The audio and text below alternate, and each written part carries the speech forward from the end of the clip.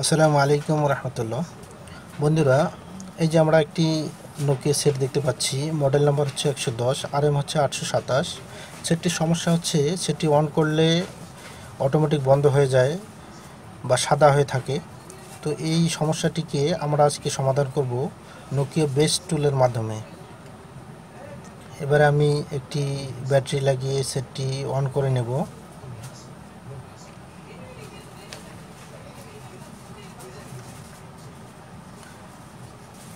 আমরা দেখতে পাচ্ছি সেটটি অন হচ্ছে।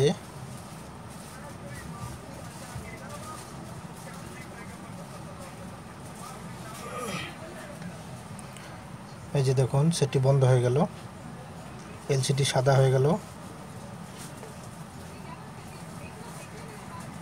বা কিছুক্ষণ পরে একবারই বন্ধ হয়ে যাবে।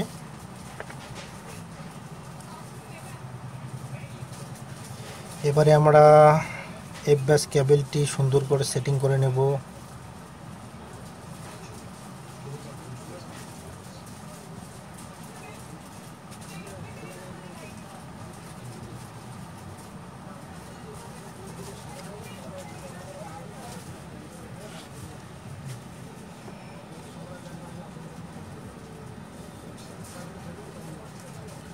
নোকিয়া বেস টুল সেট আপটি ওপেন করব।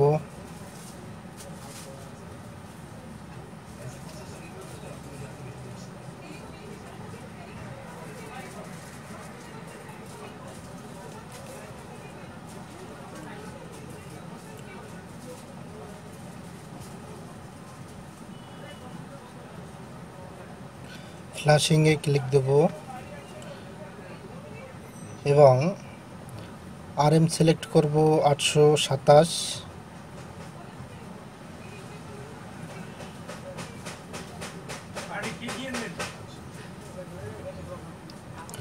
ডেট মোটে ক্লিক দেব এবং ফ্ল্যাশে ক্লিক দেব। এফবাস কেবলটি পিসির সাথে কানেক্ট করে দেব।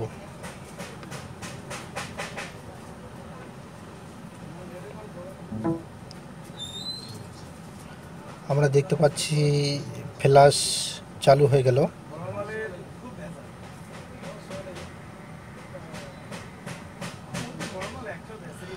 বন্ধুরা ভিডিওটি প্রথম থেকে শেষ পর্যন্ত অবশ্যই দেখবেন।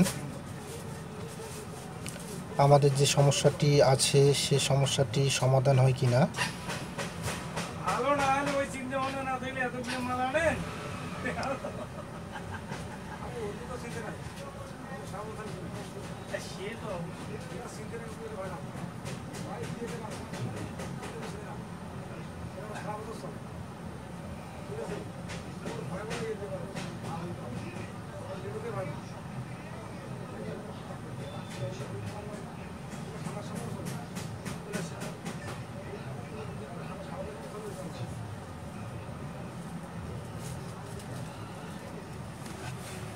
মাল আনেন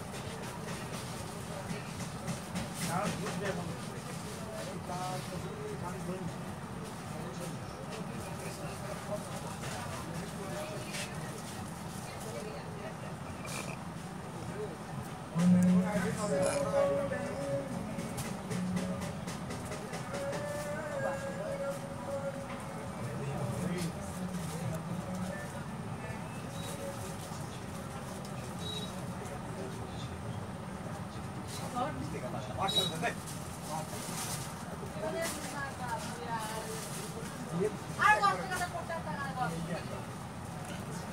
বন্ধুরা, আমরা দেখতে পাচ্ছি ফ্ল্যাশ কমপ্লিট হয়ে গেল। এবারে আমরা এফ ব্যাস ক্যাবেলটি খুলে নেব এবং ব্যাটারি লাগিয়ে চেক করে দেখব যে আমাদের সমস্যাটি সমাধান হলো কিনা।